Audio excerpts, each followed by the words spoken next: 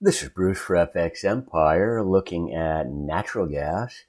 So we had a bullish signal today. We broke out to a new trend high. We broke out of the inside day from yesterday, but it quickly found resistance at a high of 2.823 and sold off.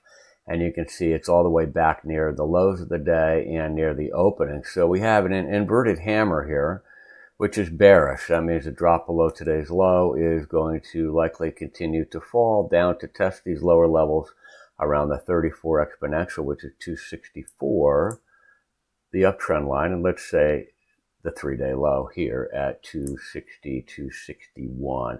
We close back below this trend line and below the 34 exponential. I'd want to reevaluate the situation with natural gas.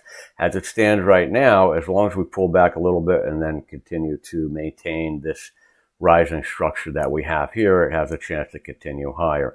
The expectation is for continuation higher because we still have a series of higher swing lows and higher swing highs. And if we look at all the previous rallies here and here and here and here and here, they were all more than we're currently seeing in the current advance. So just by that factor alone, the odds favor an eventual continuation higher, but it looks based on today's price action that we're going to have a little bit more of a pullback before it attempts to do that.